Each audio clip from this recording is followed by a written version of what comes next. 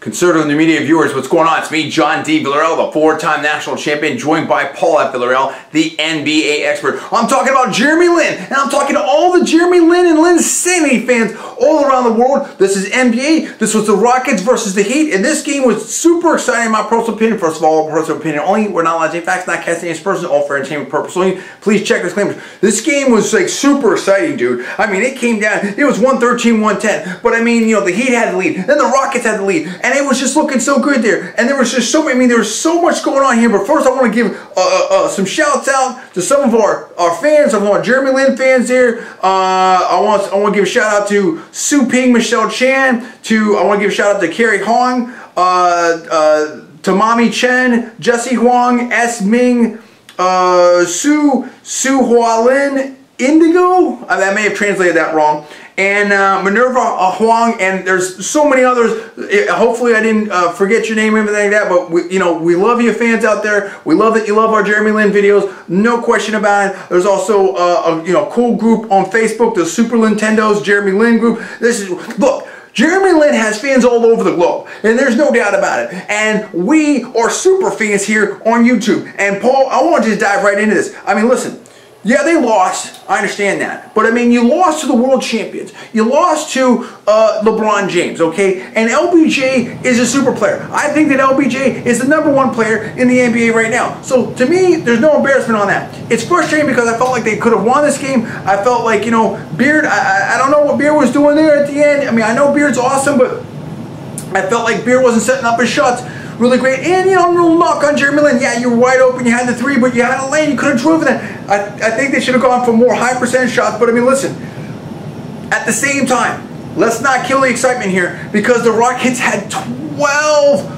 12 three-pointers. I mean, that's insane. Everybody was hitting from the outside. Delfino, Morris, Parsons had four threes. Lin, Beard. I mean, it was all kinds of stuff. Asik, I thought, did great. We saw a lot better team ball here. Good points, very good points, great rebounds. I think they had great fast transitions. But Lin, let's talk about Jeremy Lin. In my personal opinion, Jeremy Lin really was the star of, of the game for the Rockets because he was doing so many different things. Good assist, great, good three-point shooting. He was good at creating offense, good at defending. I mean, when he was all alone, I mean, he dude, he blocked LeBron James. It wasn't like a super block, but he was able to block it, and then he knocked the ball out. You know, when Ray Allen was going to get uh, an, open three over there. I mean, so there was that. You know, I think he he also you know created contact for the foul. He was working really hard. And again, Jeremy Lin, in my personal opinion, may not be 100% because the knee and everything like that. So I think that, that that was great. Now, of course, Beard was doing a lot of great stuff. He was creating great offense.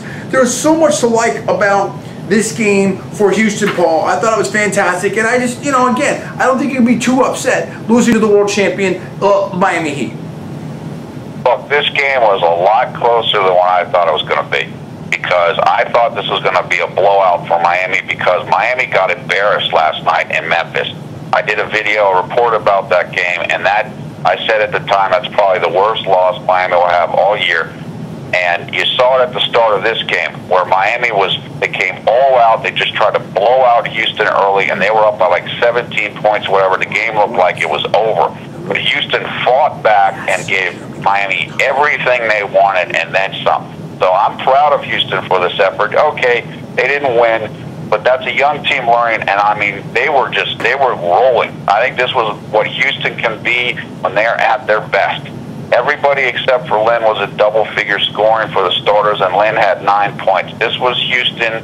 This is a glimpse of what they can be and what they will be in the time to come. I, I thought it was great.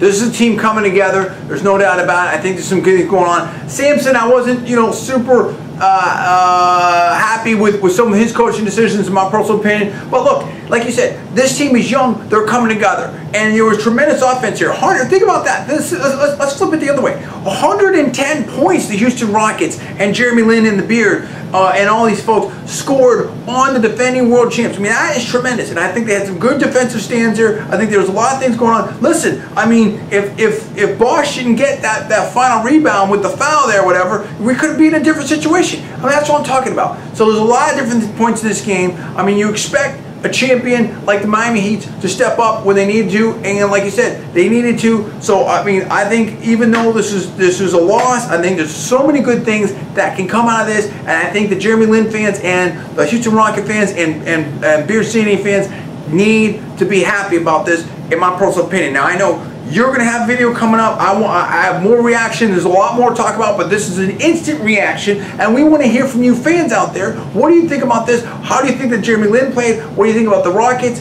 What do you think about how uh, Beardsanity played? What about the rest of the team stepping up? What about Delfino? What about Morris? What about Asik? You know, tremendous. Parsons with his shooting. I mean, that kind of outside shooting stuff like that. And, you know, what about the Miami Heat? Bosh just with authority, you know, getting the rebounds and getting the dunks, everything like that. LBJ, I mean, putting the team on his back. I mean, look at the second half points, everything like that. Look at the super long three-point shots for LBJ. What about Ray Allen? Ray Allen, I mean, if you anyone had a question mark, in my personal opinion, about any kind of possibility that he that Ray Allen wasn't a big acquisition for this team, I think that got silenced tonight. You know, having that kind of outside, you know, threat there is just tremendous. I mean, when when Ray Allen was alone, he was knocking it down. D Wade was doing his thing. Look, I think both these teams look good we need to hear from you about right now. This is NBA. This is fun. Speak on it. Comments below. Please subscribe up. I'm John D. Villarreal, the four-time national champion. That is Paul. Villarreal, the NBA expert. You're watching Conservative New Media. Please rate this video up. Also, please post it on your social networking sites. Thanks for watching. Thanks so much for watching. We'll see you next time. And stay tuned. We're going to have more coverage of this exciting game between the Rockets and the Heat. Stay tuned for that. We'll see you there.